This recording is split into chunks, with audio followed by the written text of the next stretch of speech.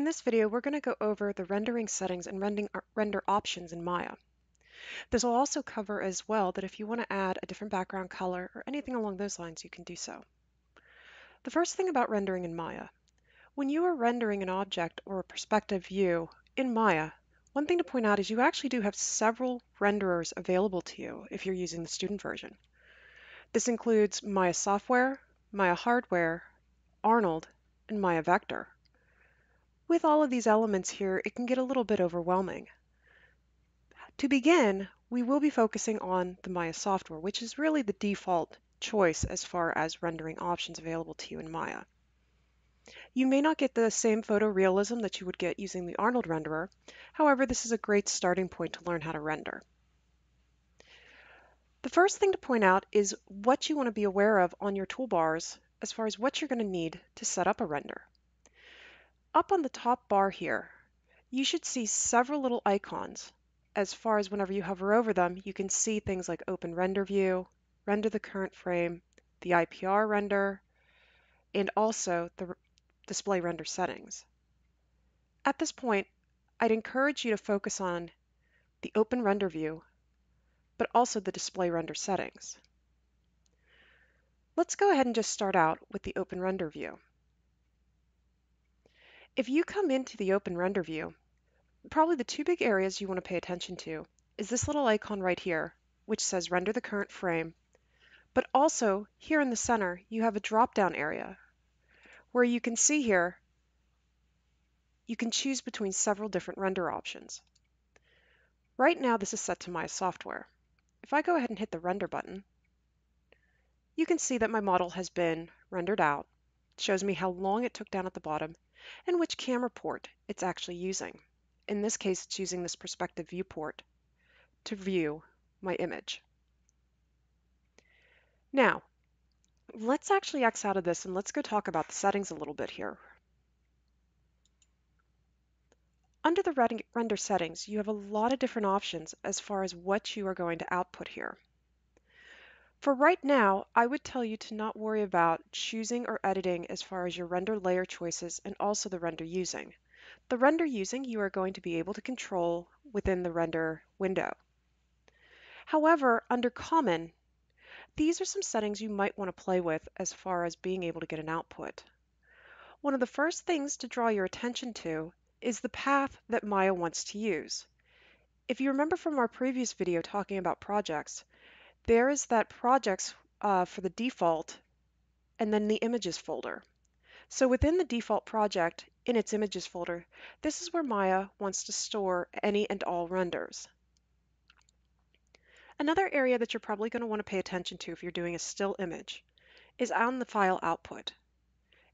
For right now, you shouldn't have to change any of these, but you do have the option if you click on the drop-down. Notice that you can do a Photoshop document, a PNG, a TIFF, and some of the more common graphical uh, types here, even a JPEG and a GIF. Normally, I just leave this on PNG.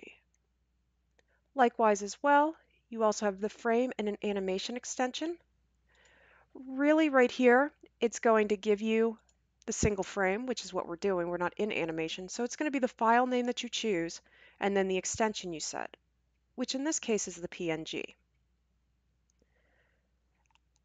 The last things to point out is if you scroll down in the common area, you can look at your render renderable cameras. By default right now, I have this set to perspective. But if I wanted to, as you can see on the dropdown, I could choose front, side, top, or even add in my own cameras. As we're starting out in Maya, the perspective view is going to work just fine for us. The last area that you will want to work with is in the image size. Notice right now we're set to HD 540, which gives us a width of 960 by 540 pixels. Not the largest size or highest resolution graphic. However, again, you are balancing between how long it takes to render versus the quality of the render. For most assignments, this is going to be fine, but be aware that you can click on the drop down if you want to for things such as your portfolios, and you could do much higher resolutions if you chose as far as your overall layout and design. Before I close out of this, I'm going to show you also under Maya software When you have a specific renderer selected, as you continue on, you can actually come in and choose and set up additional options pertaining to that specific software, er, software renderer. We're not going to work with this at this point in the course. However, as you move forward and when we start getting more into the special effects, being able to come in and edit the specific options within the specific renderer that you would like to use becomes very important. So I'm going to go ahead and close out here.